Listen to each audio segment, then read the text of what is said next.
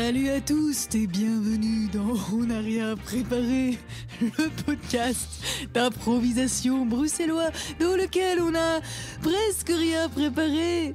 Sinon, ce ne serait pas de l'impro. Et non. Bonjour tout le monde. Je m'appelle Lise Brassel et je serai votre hôte du jour pour ce podcast tout en improvisation et en couleur vocale, comme vous pouvez le constater. Ah, il n'y a pas d'autre explication que ça pour cette voix au début. Ah, ok, d'accord. C'était la couleur vocale. Voilà. D'accord. J'ai avec moi aujourd'hui, comme à mon habitude, pour cet épisode 6 de la saison 4, Hicham El Amouri Et la couleur vocale Nuit de mer. Euh, bonjour, euh, bienvenue dans les couleurs vocales dont on n'a rien préparé. Waouh Voilà. Quelle couleur vocale vous, ne nous ja- vous ne nous avez jamais entendus sous ce jour-là, n'est-ce pas, chers auditeuristes Et tant mieux.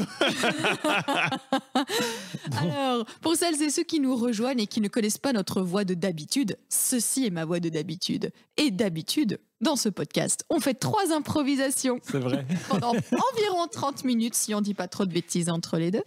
Et il y aura également un peu de culture et techniquement de la rigolade, vous verrez. Techniquement. Techniquement, c'est la rigolade très technique. Voilà. Mm. Euh, si vous aimez, on n'a rien préparé, n'hésitez pas à nous suivre sur Instagram et Facebook, arrobase on n'a rien prep. Vous allez voir, on voit nos bouilles et euh, on voit les différents épisodes avec une, des jolis dessins dessinés par de jolies personnes telles que Juliette Boutan. Merci Juliette Boutan. Merci Juliette Bouton. Merci, j'ai le bouton.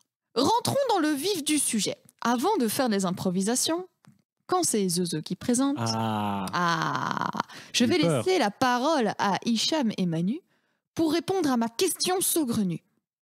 Ma question saugrenue est la suivante. Si vous deviez être une paire de chaussettes, quelle paire de chaussettes seriez-vous? Je veux une description précise. c'est l'aut- c'est l'automne, je veux savoir.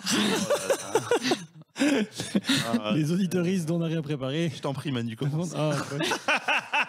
Alors, hmm, eh bien, je pense que je serais euh, des chaussettes euh, et plutôt des chaussettes légères, parce que moi j'ai souvent chaud aux pieds. Mhm. Euh, c'est pas une partie de mon corps qui a très vite froid. Et donc, euh, donc pas des trop grosses chaussettes, plutôt des chaussettes qu'on porte un, un jour d'automne quand on va enregistrer On n'a rien préparé. avec, euh, avec par exemple des dinosaures Ah oui, de plusieurs couleurs différentes dessinées dessus. C'est Voilà. très toi. Merci. Très toi. Merci. Je suis d'accord. Ouf, ils approuvent ma, ma réponse. Euh, moi, je pense que, bon, déjà, sans surprise, je serais une paire de chaussettes dépareillées. Euh, Ah oui. Évidemment. logique. Euh, euh, je pense que je serais d'épais- d'épaisseur moyenne, pas épaisse, pas genre chaussettes de sport, éponge, euh, mais euh, épaisseur intermédiaire, pas extrêmement fine non plus. Et, et genre, Genre deux des chaussettes en coton, quoi. Oui, ouais, c'est ça. ouais. je, regarde- je vérifiais ce que j'avais au pied. Un peu- sans doute plus épais que ce que j'ai au pied à l'heure actuelle, mais pas, pas très épais non plus. Mais bref, euh, euh, et euh, sans doute des couleurs qui vont pas du tout ensemble l'une et l'autre, avec au- aucun rapport entre les motifs. Peut-être même une très plutôt unie et l'autre avec des motifs beaucoup plus élaborés. Et euh, euh, il n'est pas impossible qu'une des deux chaussettes soit fort usée au niveau de la plante des pieds, vo- voire légèrement trouée, quoi. Tu vois, il- on, on peut- on voit un peu l'espèce de, de- de- on voit un peu la plante du pied euh, par en dessous, quoi. Il y en a deux qui est un peu euh, Ah ouais. fort usé quand même, et, et sans doute un des deux élastiques est un peu, un peu lâche, quoi, à force. Elles sont tirées bien vers le haut jusqu'au bout. C'est vrai que c'est très toi.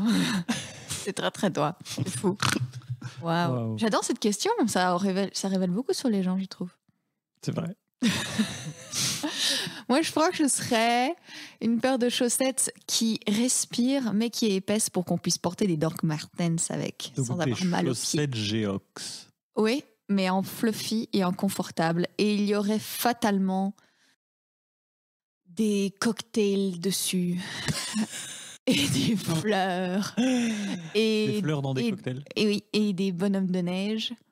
Et, des, et des cracottes. Voilà. Des bonhommes de neige qui tiennent des, Des miettes de cocktails et- cracotte dans la chaussette. Non, des Ah. cracottes dessinées non, dessus, sais. voyons. Voyons. Merde, un cahier des charges assez, que tu me assez, connais Voilà. assez lourd. Me connais-tu seulement, C'est pour ça que je pose la question pour les c'est bien. cracottes. Il y, a- il y a des sites internet qui et la permettent. personne euh, qu'on entend venir faisant Mais c'est bien, il y a des sites internet qui permettent de personnaliser nos chaussettes. Alors, aud- auditoristes, on est bien préparé. Ah, la gig économie des chaussettes. De ouf. On adore. Oui, oui, oui, ben j'ai Voilà. j'ai hâte d'être Noël. Les amis, il est temps de passer au, au professionnalisme parce que là, on dit des bêtises, mais on a des impros à faire. C'est vrai. Hicham, présente-nous la première impro, s'il te plaît. Il s'agira d'une commentateur sportif. S'il en est du podcast. Euh, euh, Manu et Ise vont incarner deux personnes qui commentent un- un- une action, somme toute, assez banale, mais comme s'il s'agissait d'un événement sportif à enjeu énorme. Et donc, euh, avec tout ce que ça implique, que je laisse à leur discrétion, bien entendu. Et euh, votre, euh, votre, euh, votre action banale, c'est traverser la rue. Très bien. Traverser la rue, ça, ça me paraît hautement banal. Euh, quoique, pas anodin pour autant. C'est une aventure du quotidien.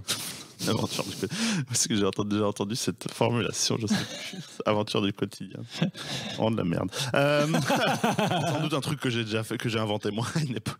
Bref. Euh, euh, Est-ce que vous êtes prête? Ouais. Ok, c'est parti.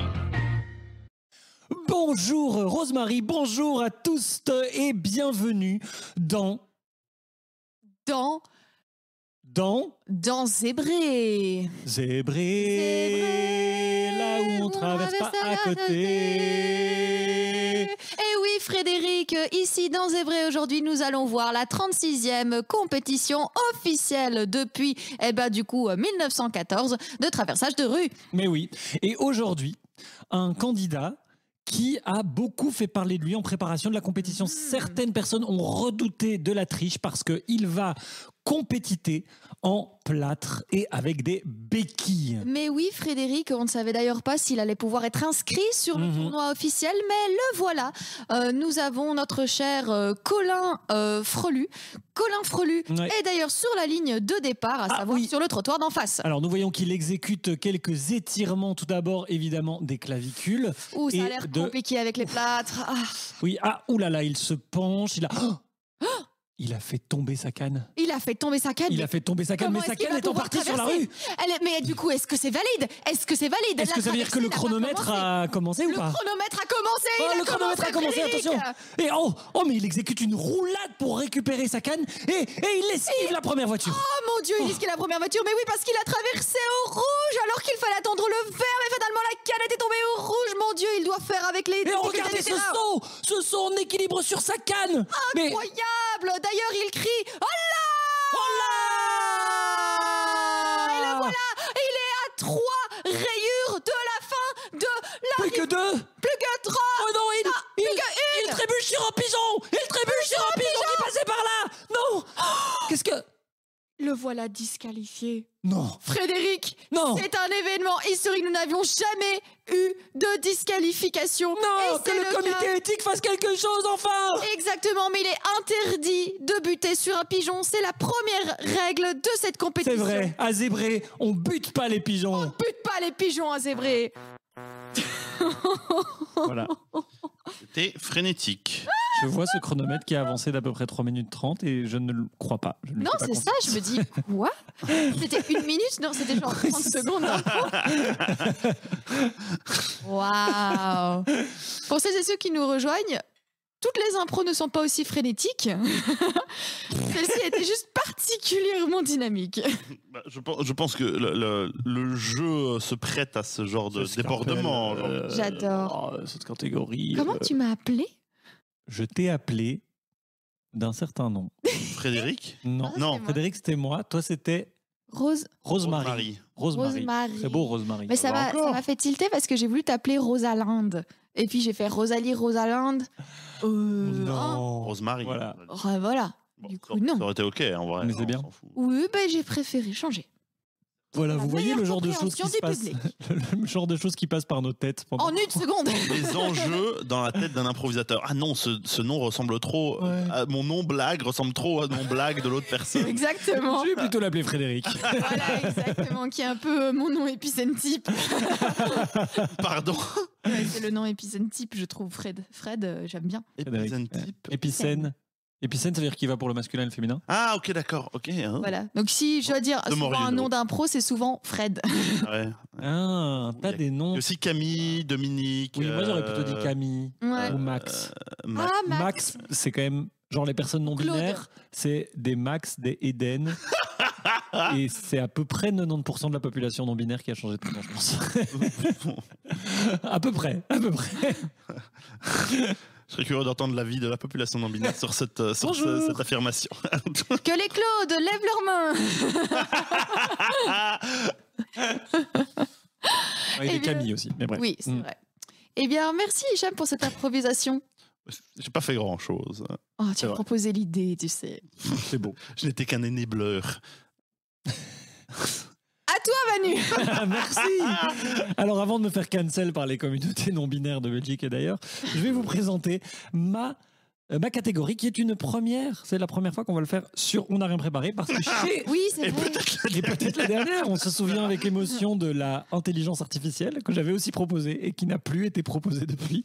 Ah oui, je l'avais joué. C'était quelque chose. C'était quelque chose. Alors chez Honarp, vous le savez, on parle trop. Alors j'ai décidé de dire stop. Pour l'impro suivante, Hicham n'aura le droit qu'à deux répliques. super. Les seules phrases qu'il pourra dire pendant cette impro. Ces phrases seront bienvenue et mais qu'est-ce que je fous là? Donc. Hicham, tu pourras dire autant de fois je bienvenue mais qu'est-ce que je Ouais, fous ouais. là que tu veux, mais tu pourras dire que ça. Bah, je- Iseux, Courage. tu pourras dire tout ce que tu veux. J'ai hâte. Je crois que c'est Iseux qui a beaucoup bossé. Voilà, c'est ça. toujours cette. J'aime les laboratoires. Alors, votre mot sera. ou est-ce que je vous donne un mot ou est-ce que ça suffit comme contrainte? Bah, un mot, un mot, c'est bien. Mot. Un peu- allez. un peu- ça nous aidera à créer du contexte. Euh, Alors, Euh, à, à ce que je crée du contexte. c'est vrai, C'est un travail collectif, ok c'est un travail collectif. tu, peux, tu sais pas Euh, tout ce qu'on peut transmettre dans une, dans une réplique, euh, aussi non, limitée soit-elle. Est-ce que c'est. Non, attends. C'est beau ce que tu dis. Non. T'as fait l'insas? Non, j'ai fait de la merde. Votre mot sera figurine. Figurine avec euh, deux répliques pour Hicham et toutes les répliques quoi, du genre monde. bienvenue et C'est bienvenue et mais qu'est-ce que je fous là Ouais. Attention, c'est parti. Alors voici mon plan pour la journée. Bienvenue. Eh ben, écoute, euh, t'es pas prêt On va, on va aller d'abord au bord de l'eau. Et là, pour célébrer notre amour, on va chacun faire une figurine l'un de l'autre. Qu'est-ce que je fous là? Ben, et tu vas faire la figurine, justement. Et, et, et à ce moment-là, on se les échangera. Et comme ça, on pourra voir, mais quelle est la vision que l'autre a de l'un? C'est beau, parce que c'est ça, au final, le mariage, c'est la célébration de l'amour. Bienvenue. Et après, les invités viendront. Mais bah, seulement après, j'ai besoin qu'on ait ce petit moment ensemble. Qu'est-ce que je fous là? Bah, euh, bah on va y aller. Euh, écoute, euh, mets ton manteau, mets tes chaussures et on y va. Oh, je t'ai pas dit, mais d'ailleurs, j'ai préparé un manteau vert pomme. Ça va t'aller comme un gant, ou plutôt comme une forêt. Bienvenue. Ok. Euh, D'accord, je m'attendais pas à cette réaction. Tu, tu, tu, tu- as l'air dubitatif de- du projet. Qu'est-ce que je fous là? Bah, tu, tu, tu m'écoutes, mais visiblement, t'as pas l'air très, très emballé. Euh, si tu veux, on fait autre chose. je fous là Mais si tu veux, on fait des, des- je sais pas, des citrouilles. Si tu veux, on écrit euh, une déclaration sur une lettre. Qu'est-ce que je je fous là? Bah, tu te maries avec moi. C'est toi qui as proposé il y a trois mois. Bienvenue. Euh, Excuse-moi. Bienvenue, bienvenue. Ok, d'accord. euh, on est loin de, on est loin de Milan et de ta déclaration euh, sur la tour. Hein. Je dis ça, je, mais je dis ça, je dis rien, hein, parce que la dernière fois, c'est toi qui, qui m'a supplié. C'est toi qui es venu me chercher après notre break, que je sache. Qu'est-ce que je fous là? Eh bien, très bien, j'enlève mon alliance. Schling, Reprends-la, ton alliance de merde, et va retrouver quelqu'un d'autre à Milan Bienvenue. Bienvenue Eh bien, voilà, pars avec Ségolène. Je sais que Ségolène et toi, vous vous êtes vus hier au café. Bienvenue. Très bien. C'était expérimental. Mais ça a plus ou moins bien fonctionné, je trouve. Mais oui, tout à fait. Mais oui. je pense que c'est difficile de ne pas tomber. Mon Dieu, je m'analyse. Est-ce qu'il faut que je m'analyse pas? Tu fais ce que tu veux. Voilà. Ok, je pense si tu que t'analyses, après je t'analyse. très bien. Je pense que c'est difficile de. Non, analyse-toi toi. non, j'ai pas dit ça. Euh, je pense que c'est hum, c'est difficile de ne pas tomber euh, dans le descriptif. Je pense que c'est bien de faire avancer. Oui. Bah, Malgré je pense qu'en fait, ce il faut pas prendre la réplique pour ce qu'elle veut dire littéralement, mais euh, Hmm. ce qu'elle peut impliquer. Ouais. En tout cas, c'est plus dans faire avancer ce qui se passe plutôt que, plutôt que de développer un truc qui n'est pas là, je dirais. Mais moi, je trouvais ça. Qu'est-ce qu'on fait là? Qu'est-ce qu'on fait là? Qu'est-ce qu'on fait là? Euh, Non, mais c'était intéressant. Il y avait plein de. Moi, en tout cas, je, me... je vivais des trucs et. et- Je fais des trucs. Ben oui, enfin, je voyais des choses et tout. euh. C'était pas dit, mais. Comme quoi l'improvisation est une discipline, n'est-ce pas? C'est vrai. Je sais pas, tout d'un coup, j'ai vu quelqu'un en tenue, en, en sorte de kimono gris, les, les cheveux rasés, en train de faire Ya Et que c'était un camp d'improvis- de discipline d'impro. Ah. Bizarrement, je sais pas, c'est une image qui m'est passée en tête comme ça, brièvement. Eh bien, ya, flash. ya, je passe dans l'impro suivante. Ah, ça Terminé avec une improvisation que je vous propose. Qui c'est? Qui c'est? Qu'est-ce qu'on fait là? On fait une deux mondes. Ah. Deux mondes différents. Ça faisait longtemps une deux mondes différents. Ça fait longtemps. Mhm. Je vais euh, imposer à Hicham et Manu un monde d'où vient leur personnage, un monde connu, euh, préexistant euh, de, de la culture. Un champ de patates, par exemple. Pardon. C'était trop tentant, je m'excuse. Mes excuses. Dieu Le troll est fort en moi. peux rien. Combat-le, Hicham, combat-le. J'ai une blague euh, sur les blondes dans le J'avais maintenant mon coup de Allez, cœur. vas-y, Vas-y, vas-y. En vas-y. fait, c'est toi la présentatrice. Ça, c'est les- Alors, qui vois. C'est l'histoire d'une blonde et d'une brune qui, Ah euh, non. qui marchent à côté d'un champ de patates. Ah non. ouais. Et la, la brune voit une autre blonde dans le champ de patates qui fait du kayak. Et, euh, et du coup, la brune fait à sa pote blonde, mais tu te rends compte, il y a une blonde qui fait du kayak dans un champ de patates, mais elle est débile. Et là, il y a la blonde qui répond, ah vraiment, c'est horrible. Si je savais nager, j'irais lui dire. je suis blonde, j'ai souffert de cette blague très longtemps, ça me trigger rien que de le dire.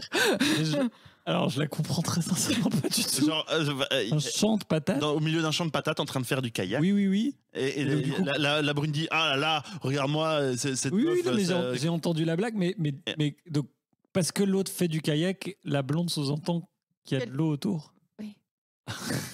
Ça va Je jusque-là. pensais qu'il y avait un double Ouais, sens avec le si champ elle de était pas patates et l'eau, mais. Visualise mon adolescence. si elle n'était pas aussi vraiment méchante et, et, euh, et ostracisante pour les blondes, elle serait vraiment très drôle parce qu'il y a un- une belle absurdité dedans. Oui, j'aime bien l'absurde Ah oui, patate Ouais. kayak. J'aime bien. Moi, j'aurais au milieu d'un champ, voilà. C'était un grand barque qui rame. Arrêtez un peu vos bêtises. Il est temps de passer à l'improvisation. Ah là là, c'est la patate Je qui se fout de la betterave, quoi. C'est vrai, c'est vrai. Alors, mes petites patates douces, donc une demande différente. Et je vais demander que Hicham, tu, ton personnage vienne d'un manga shonen. D'accord? Ok. Et toi, Manu, ton personnage vient euh, d'un film de Tim Burton. Ok. Voilà. Donc nous avons euh, la mélancolie, euh, le, le bleu-gris, euh, l'amour et le drame et les cimetières. Le gothisme bas de gamme, inaccessible. Oui, c'est ça. Et de l'autre côté, nous avons le déterminé, un objectif et beaucoup d'aventures. et des codes évidemment très précis des deux styles. Je vous invite à, euh, à regarder sur Internet si vous ne connaissez pas les styles en, en- en question. Sinon, vous serez perdu. Et votre mot d'inspiration sera le mot buisson.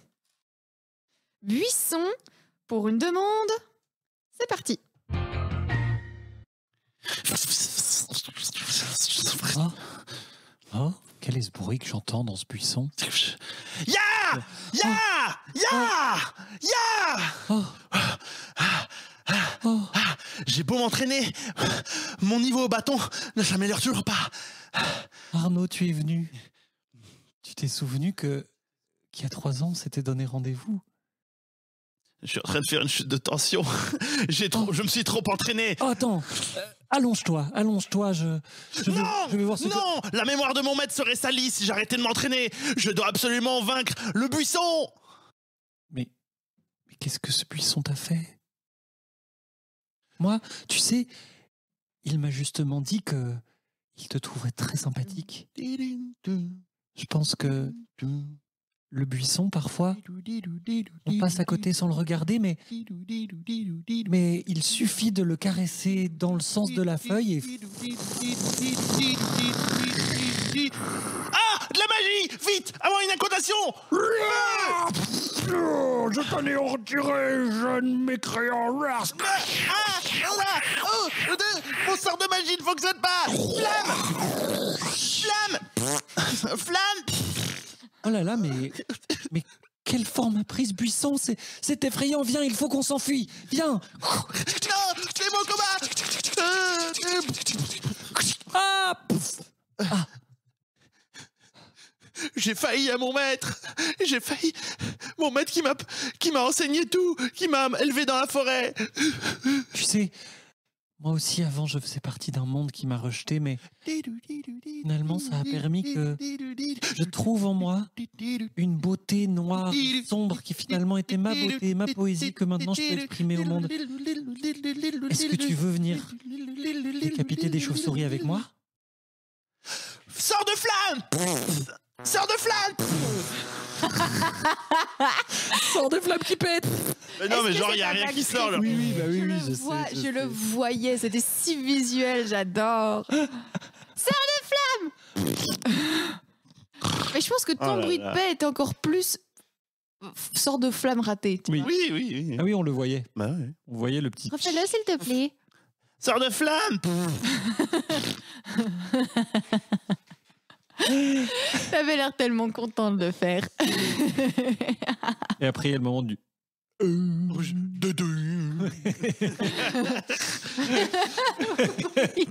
J'ai décidé de- d'éliminer les codes du shonen des années 90 qui est de ensuite euh, peloter une meuf gratuitement. C'est vrai qu'on s'en on s'en passe Merci, bien. merci, merci. Vraiment, c'est J'ai sympa. fait ce choix conscient, stylistique, un peu transgressif quant au code sacré, mais euh, Que ton maître t'a appris dans les montagnes. Oui, ton maître qui faisait sans doute une collection de petites Oui, oui, culottes. oui, ou de- oui, voilà, c'est ça. Mes chers auditeurs, vous allez me dire c'est déjà la fin de la troisième impro, c'est que c'est fini? Eh ben non Non Parce que justement, nous allons vous partager nos coups de cœur. Ce sont des coups de cœur euh, culturels que nous avons eus ces derniers temps, euh, vrai. Hicham, Manu et moi. Hicham, quel est ton coup de cœur de cette semaine? Mon coup de cœur, c'est pour Le Soleil des Mages, une BD de Mortis Ghost, sortie en janvier 2022 aux empl- éditions L'Employé du Mois. Encore Mortis Ghost? Que veux-tu que je te dis J'avais déjà parlé de lui? Ah non, mais c'est... Oui, Titi, on a parlé le mois dernier. Mais oui. Bah oui, oui, mais bon, voilà, en même temps, euh, voilà. Le Soleil des Mages, euh, le Soleil des Mages, en fait, c'est une relecture du Seigneur des Anneaux, mais en road movie euh, à l'américaine, euh, mais foireux, road movie foireux, enfin genre road movie social où les personnages sont tous bizarres et, et un peu nuls et ça sent un peu le renfermé. et le violino. C'est un dessin très cartoony et très subtil où les personnages sont des formes quasi géométriques, simples, mais en même temps, en fait, ils sont ultra expressifs. Genre, les hobbits dedans, c'est juste des, des boules avec des pieds. Bah oui, évidemment. Voilà, c'est ça. Des hobbits, quoi. C'est vraiment. Mais c'est super court, ça, genre ça fait un petit peu moins de 100 pages. Et du coup, c'est un peu comique que ce soit, euh, que vu l'œuvre dont c'est inspiré, ce soit aussi bref et anticlimatique. Mais c'est un peu le principe, je pense. Moi, je le vois comme la vie, c'est compliqué et bizarre. Il y a plein d'enjeux qui nous dépassent et ça nous rend confus. Et ça peut être très décevant ou bien juste se résoudre en queue de poisson. Mais ultimement, on y est et il y a des trucs à y apprendre. Waouh. Et, et je trouve que c'est un truc qui ressort dans les trucs de Mortis. Ça a l'air d'être des blagues un peu, mais en fait, non, c'est ultra touchant, ultra émotif, ultra sincère. C'est vrai. Et, euh, et donc, je- je- j'encourage beaucoup à lire ce livre. Euh, si vous le lisez et que vous aimez ce bouquin, je vous recommande donc euh, la, la- Docteur Cataclysme. Je pense que Mais je crois qu'on en avait parlé. Ah oui, voilà, c'est. En tout cas, Tini l'a évoqué, qui commence comme une sorte de space opéra psychédélique et, absurde, mais qui se développe en une sorte de tapisserie de personnages ultra touchant et attachant. Enfin, bref, euh, c'est- il fait ça très bien, où ça a l'air genre, qu'est-ce que c'est que cette bordel? Et à la fin, c'est genre, oh, ouais, mignon. C'est vrai. Voilà, donc euh, Le Soleil des Mages de Mortis Ghost.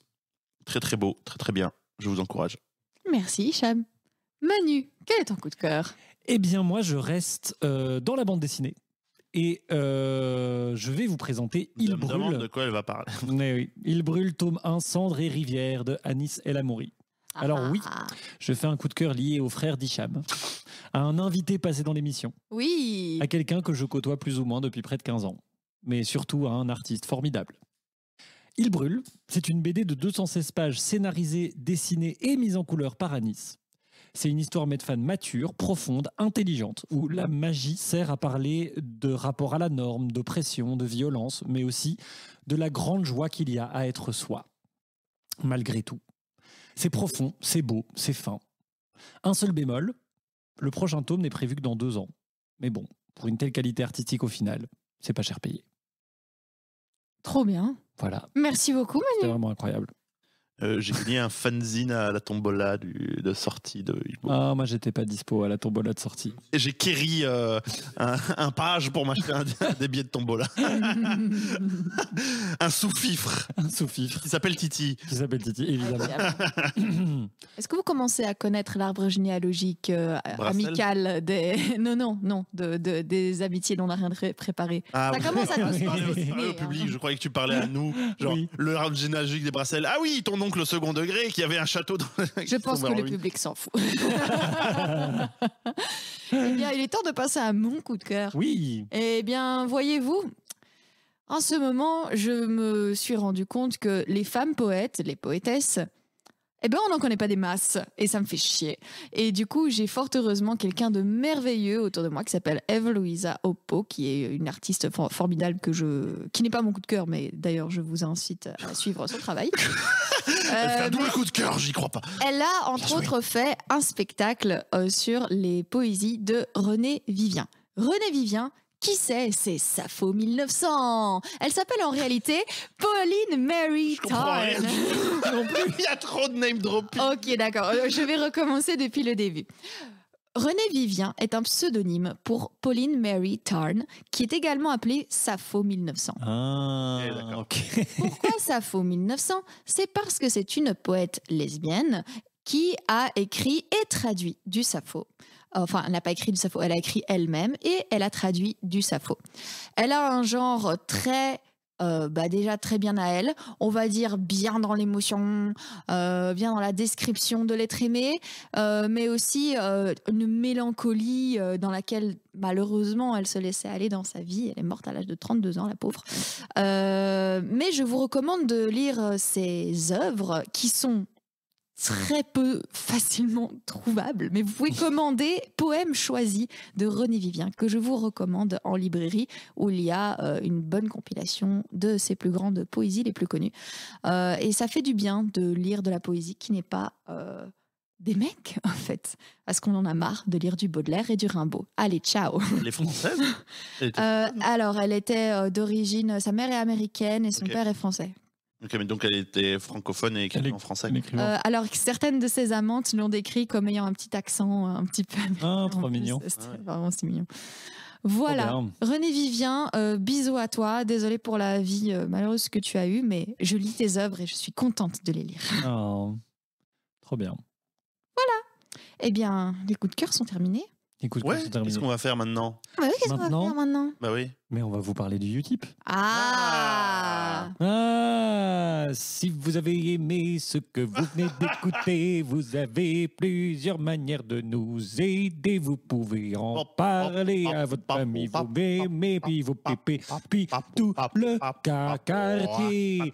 Puis si vous avez quelques deniers à mettre dans notre escarcelle, vous pouvez aller sur Internet et la vie sera plus belle. Vous pouvez nous trouver sur utpi.io, utip.bio, bah c'est pas clair, mais ce sera en description. Et sur utip.io, vous pouvez nous donner un peu d'argent pour qu'on puisse faire une émission toujours mieux, toujours gratuite, et puis pour toujours, pour tout le monde, et puis peut-être un jour, qui sait, on pourra défrayer les invités, puis nous payer, puis nous payer des sandwichs pour le café.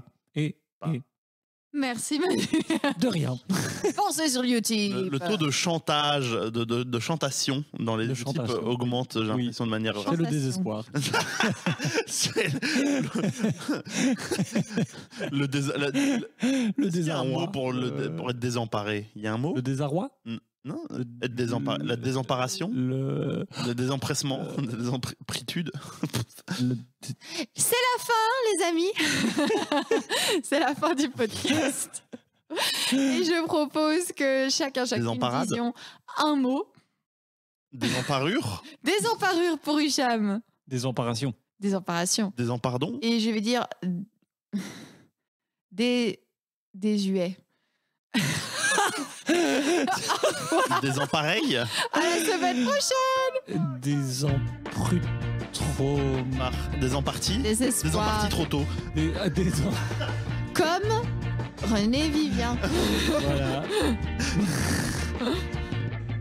Des désem- ah, Et Des ans et des ans et des ans et des ans. des années là.